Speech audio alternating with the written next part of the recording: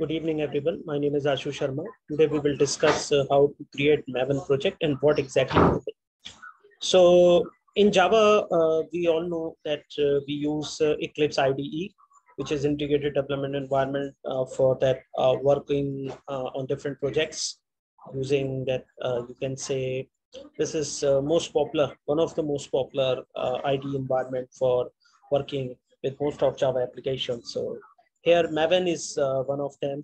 Uh, we use this uh, for making that fast process of development of any uh, project because of that inclusion of default uh, test cases and all, all sorts of things and dependencies.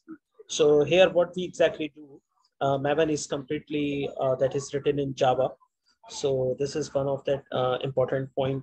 And to install Maven, by default, it, it, you can use that Eclipse, then there is an option of creating project. New project is Maven project. Or even though uh, uh, for that Eclipse, you, you must have JDK uh, uh installation as well as you, you have Eclipse installation and both on same machine. So that is also required.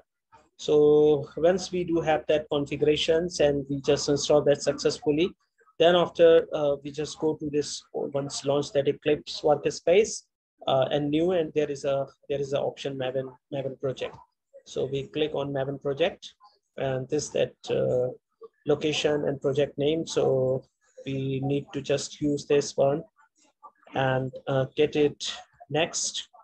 And then there is there is archetype that uh, we people generally do use. So we just click on that at archetype and then see uh, what else environment. So we have certain steps that uh, remaining here.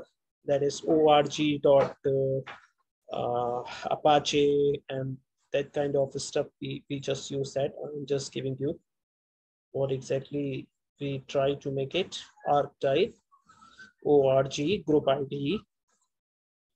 This one that is uh, generally use. So just hold for a minute. I'm just checking that. And that is org Apache. And uh, here we have our archetype 2 fine. So we just uh, search it out for that group ID, what will be good fun. So just just for a while, we go with that. Uh, this is that archetype. So this is one of one of the best is J2EE. This is ORG Apache Maven archetype. And artifact ID is Maven archetype J2EE simple 1.4. We select this one and then next and this is downloading that uh.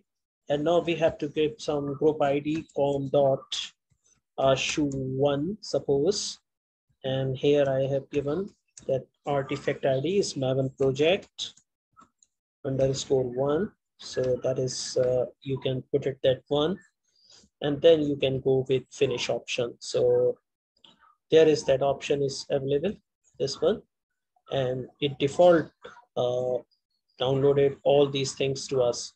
So we just go with this pom.xml under that Maven project one. And we see most of the dependency downloaded uh, by default. You can see here, that is the group ID, comma shu1. And version is also given 0.0.1 snapshot, artifact ID logging. This is the way that is given.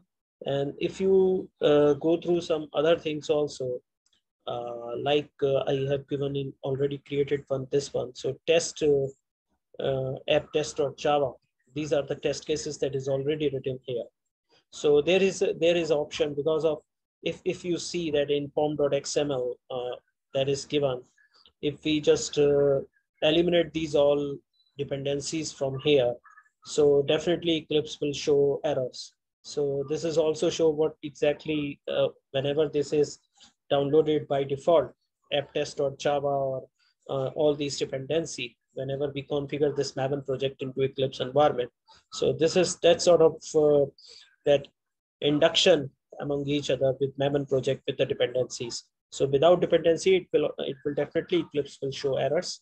And so we have to just put all these things over there when we configure for Maven projects. So this is very important to make that process fast enough once we deploy uh, that, that kind of project through, through Maven and Maven projects environment along with its dependency.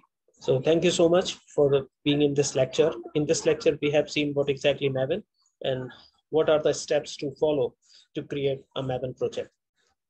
Have a nice day. Take care.